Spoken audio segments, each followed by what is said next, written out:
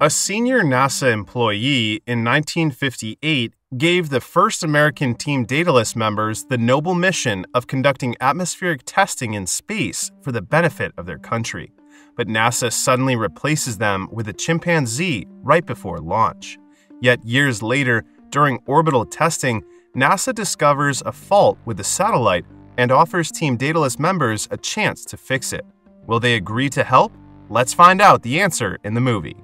In 1958, the U.S. Air Force pilot and aspiring astronaut William Hawk Hawkins planned to break a height record using the modified Bell X 2. He invites his co pilot, also an aspiring astronaut, Frank Corvin, to fly with him, who agrees, and they begin operating the aircraft. While maneuvering it, the Bell X 2 suddenly gets into an engine failure and they need to eject it before it crashes to the ground. But instead of ejecting it, Hawk decides to push the aircraft higher into the sky. Then, he only ejects after reaching 112,000 feet, which pisses off Frank because Hawk does not even think they could get scolded by their boss, Bob Gerson. Upon landing on the ground, Hawk celebrates their success of breaking a height record when suddenly Frank punches him. Hawk fights back until a flight engineer, Jerry O'Neill, appears to break them up. Later, Frank and Hawk enter Bob's office to admit that they crashed Bell X2, and at the same time, Hawk reports that they break both speed and altitude records, saying they beat the freefall mark by 30,000 feet, but Bob still chastises him for destroying three planes in three months. Afterward, Bob takes Frank and Hawk, along with other members, Tank and Jerry, to the press conference. He then announces that the U.S. president officially terminates the U.S. Air Force to run the Daedalus aircraft for outer atmosphere testing, and a newly built civilian agency, NASA, is replacing the U.S. Air Force to operate Project Daedalus, the pilot of which will be a chimpanzee. In the present day, mission director Sarah Holland attends a meeting at NASA. She reports to NASA's upper management that 11 days ago, the orbital deterioration of the Soviet communications satellite, ICON, was detected using atmospheric tracking there is a total system failure in the online navigation and guidance avionics. If nothing changes the icon's course, it will crash into the Earth's atmosphere in 30 to 40 days. Due to this, NASA's flight director, Gene, asks Bob, now a project manager of NASA, to report the solution to icon's system failure. Bob then takes the microphone from Sarah and tells them that NASA is given a presidential mandate to assist the Russians in fixing the problem. When she discovers Bob lied about mending the satellite by collaborating with the Russians, she confronts him about it after the meeting. So, Bob explains that such deception is necessary for pilots to avoid a conflict between the United States and Russia. While he goes to the operating room, Sarah is left dumbfounded after hearing Bob's answer. Once inside, Bob instructs astronaut Ethan to disable the Icon's guiding system, but Ethan refuses, claiming that he is unfamiliar with the Icon's antiquated technology. Meanwhile, Sarah orders Ethan to access the Skylab files so she can determine how they can operate the guidance system correctly. Bob gets confused by Sarah's orders, for he thinks the icon is designed by some engineer, not from Skylab. Eventually, he buys into Sarah's notion and learns that Frank, his former colleague, who developed the icon's dated electronics. A while later, Ethan and Sarah visit Frank at his house and introduce themselves as one of NASA's staff members. Sarah then informs him that his designed satellite guidance system on board is about to re enter the atmosphere and NASA needs his help to crack it. This prompts Frank to address the issue over to his place after discovering that the guidance system he developed was secretly implemented in Russia's satellite. Frank then admits that Bob is a possible culprit since he is the one who claims credit for Frank's designs and misuses it. Following his statements, Sarah explains that Bob is the new NASA project manager assigned to this issue. Frank still holds a deep animosity for Bob, so he asks Ethan and Sarah to allow him the night to decide if he will help. The following day, Frank visits NASA, assuring Sarah that he will find ways to decipher the satellite's guiding system. Sarah feels happy and quickly takes him to Bob's office for a private discussion. Once inside, Frank orders Bob to send Hawk, Tank, and Jerry from Team Daedalus to help him fix the damaged satellite. Bob's defiance, however, forces Frank out of his office and gives him time to reevaluate whether or not to dispatch the team. Left with no choice, Bob follows Frank outside to accept his deal since he is the only answer to retrieve the satellite. But before sending them, Bob tells his terms, saying that the Daedalus team will work together with NASA's younger astronauts. Frank agrees, for he thinks that it will be fair for both sides. Soon, the Daedalus team members reunite and go to NASA together to meet Sarah, who takes them to the press conference. She then introduces them as the astronauts selected for the mission in space in order to prevent the icon from decaying out of orbit. During the conference, Sarah says that the goal of Team Daedalus and the young astronauts is to catch the icon using the shuttle's grappling arm, which gives them a 42 hour allotted time to repair its guidance system. Once accomplished, they will use the Payload Assists model rockets to send the icon back into geosync orbit. After Sarah's report, Flight Director Gene says that the younger astronauts should be sent instead of Team Daedalus because they already know how to retrieve satellites. So, Bob ensures that only Frank and his team repair the guidance system. Since that is the case, Gene also makes his deal after learning that Bob and Frank made an agreement telling them that he will not offer another new space shuttle for Team Daedalus unless they go for training and take two of his trained young astronauts with them. He even suggests taking Ethan and Roger because they are the best astronauts in his pipeline, to which Bob and Frank agree. A while later, Team Daedalus begins physical training with a female doctor making regular post workout checks to see how they are holding up. Once done training, Sarah visits Hawk in the men's room. She informs him that Gene will run the stimulator by 11 o'clock, so he needs to be there beforehand and gives him a file to study the procedures of operating the space shuttle. Sarah is about to leave when suddenly Hawk invites her out for a drink, to which she accepts. After a while, Team Daedalus goes through its first mission training, during which NASA personnel wheel them inside a simulator to test their strength. While on training, Gene suddenly emerges, turns off the simulator, and chastises the NASA personnel for tampering with Team Daedalus. Later at night, Team Daedalus goes to a bar to relax after their first day of successful training. Jerry dances with a woman, Tank plays in the claw machine, and Hawk and Frank play billiards. However, Hawk and Frank end up bantering and punching each other's faces outside the bar. The following day, the four of them continue training for a mission when suddenly, Gene notices Hawk and Frank's black eyes.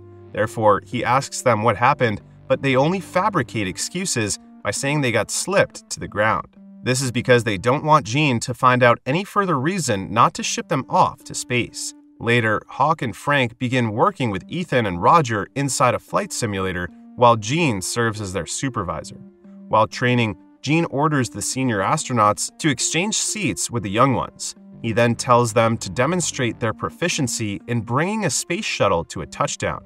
Due to this, Hawk and Frank show off the skills they learned without a computer. They attempt to do a manual control, ignoring Ethan and Roger's reminder to follow the onboard computer's instructions.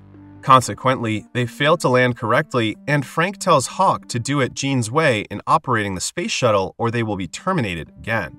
Left with no choice, Hawk requests a secondary landing, but this time he commands to have onboard computer shut down. Gene then lets Hawk do his favor and watches him manually control the landing. Surprised, they see Hawk successfully touch down the space shuttle without the computer's aid. Later at night, Hawk celebrates his first mission training success with Sarah by taking her out for a beer. After some time of charming talk, they eventually lock their lips. The following day, Team Daedalus receives another task from Gene. To help them adjust to life on the ship, Gene will recreate the conditions they will encounter.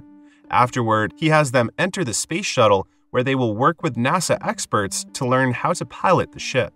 On their fourth training day, Frank discovers that Bob has been plotting their failure to prevent them from being sent into space.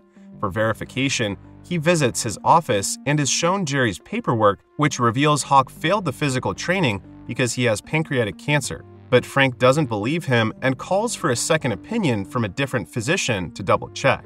Due to this, Bob realizes that Frank wants a seat for Hawk in space regardless of his condition, indicating his ambitious desire. Bob then clarifies that he is concerned about Hawk and is trying not to send them off to space.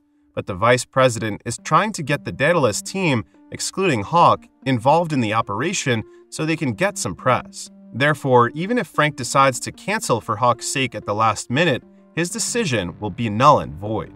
The following day, Sarah informs Frank that all Team Daedalus members will launch in 92 hours and reminds him to get his team a rest and prepped. She tells him that she was able to convince Bob to let Hawk come with them.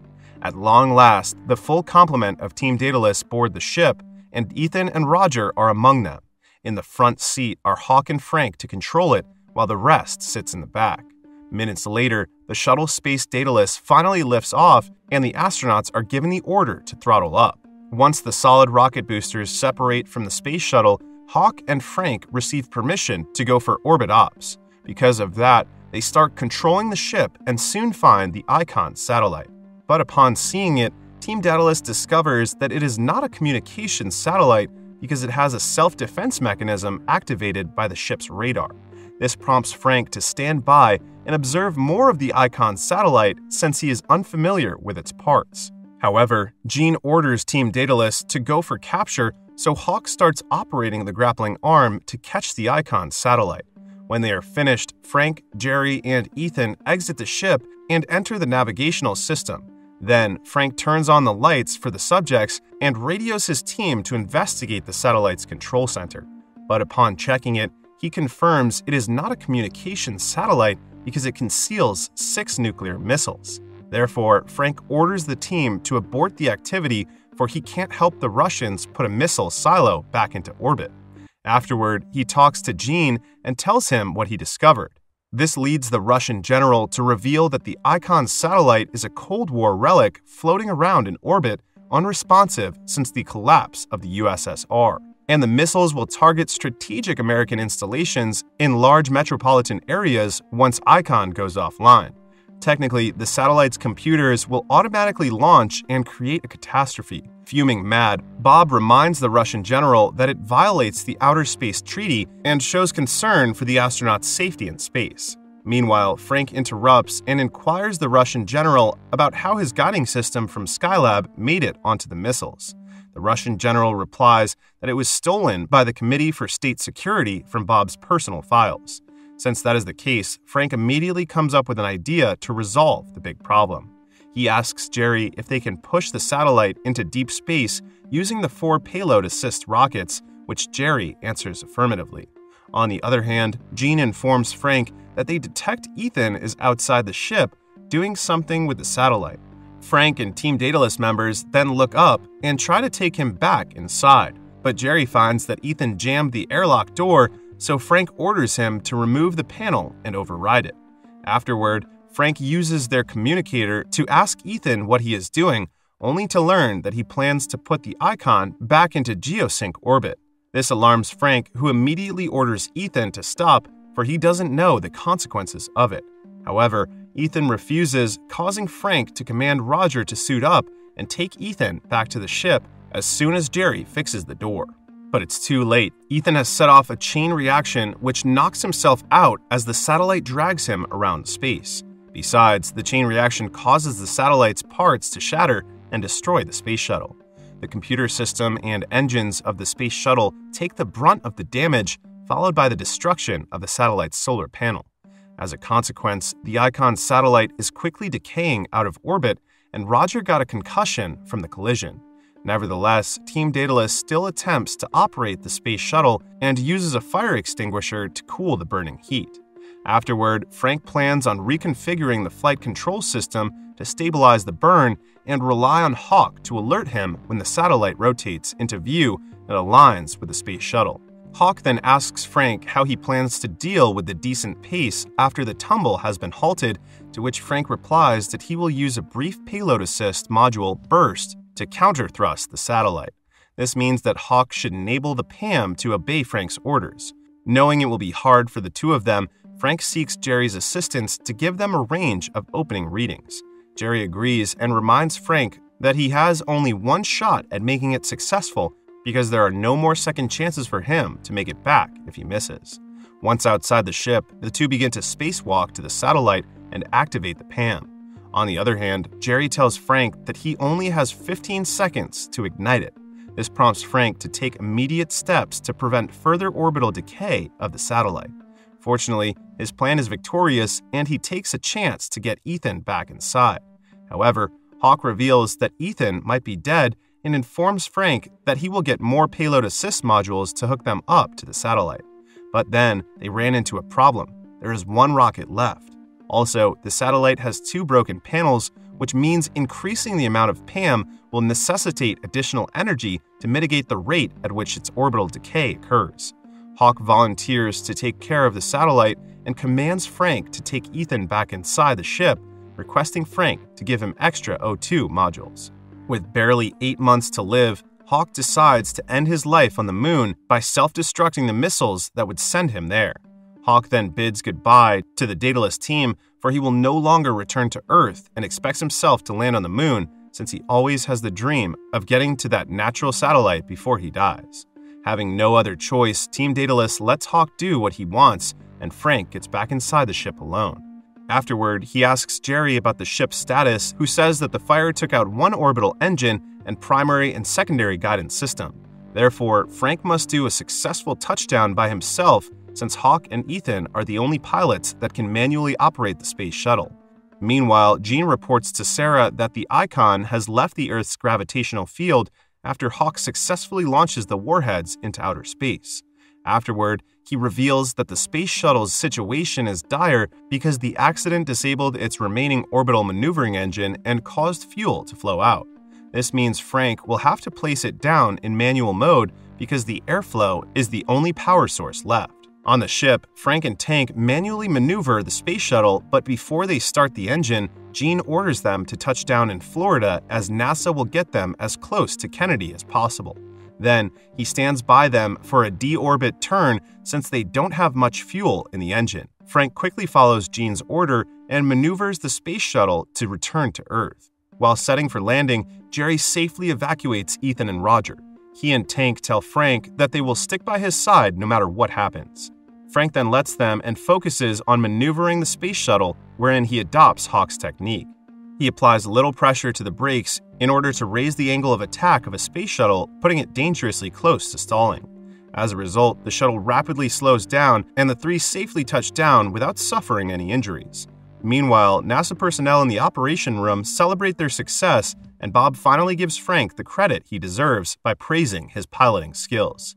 Later at night, Frank and his wife Barbara stare up at the moon and speak about how they hope Hawk made it there. The movie ends with the song Fly Me to the Moon by Frank Sinatra playing in the background as a shot of the moon's surface is shown to reveal that Hawk did land on the moon before being killed when the satellite blew up on its own.